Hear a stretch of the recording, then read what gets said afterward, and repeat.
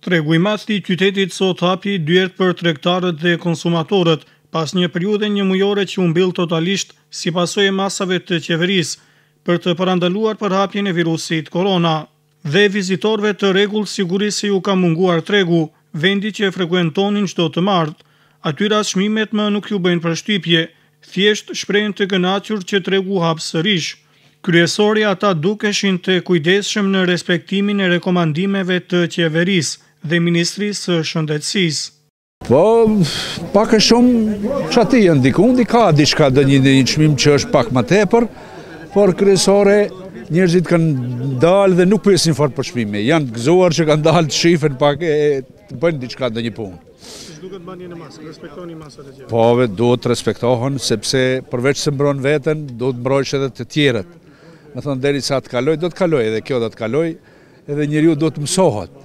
Se faktikisht nuk dihet se sa do të zgjatë kjo, ne kështu mbrojmë edhe veten, mbrojmë edhe të tjerët me këtë, sigurisht. Për momentin është deri, faleminderit urime Ramazani, edhe faleminderit Taravarit që e çel pak na dha pak mundësi të rriset të zgjedhim, ja se çmimet, Çmimet nuk janë shumë me rëndësi, kur ka mall nuk ka shumë problem.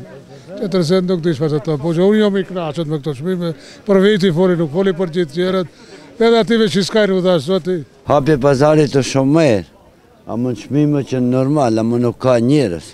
Është problemi se Për këtë pandeminë që i folin këto falsifikime, se unë deri sot nuk kom pa as vdekë as smutë as asoj ne. Kupton? Po mirë be, për, për fillim shumë bukur është.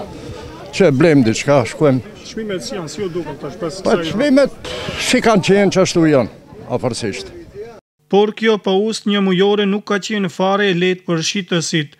Ata tashmë ndjehen të dëmtuar rëndë nga kjo situatë. Valla deri tash afër një muaj diçka çka u kon me këtë karantinën çka i thonë.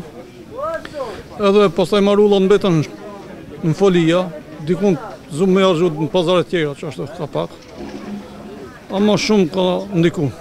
Ju ka dëmtu ekonomikisht? Shumë. Edhe sa do shkojë kështu s'e dim se sa ka me shku. Si duket mbani edhe maska. Po more me mbajt se pa maska dhe s'lishon pazar.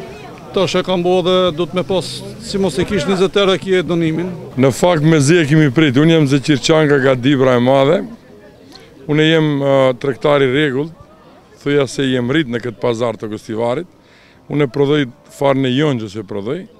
Edhe Gostivari me rrethin Domethënë e mbjellin shumë këtë kultivim të Dibrës, por tani me këtë gjendje të kësaj pandemie na bllokun edhe na ngeli në fakt malli pa shit. Pak me vështirësi, me disa kontakte që na kanë lajmëru këto myshterit, jem mundu nga pak të furnizojmë nëpërmjet këtyne te Dauti Komerci që i kam pru mall në Dibër, e kom shfrytzu rastin, po kemi qenë pak keq. Edhe ala jemi keq. Po, po, e mbaj, nuk e mbaj se se mendoj se kjo më mpron mu ose të mpron tej prej meje. Por e mbaj se dënimi është njëzet euro. Nuk kemi punu, nuk. Nuk keni punu.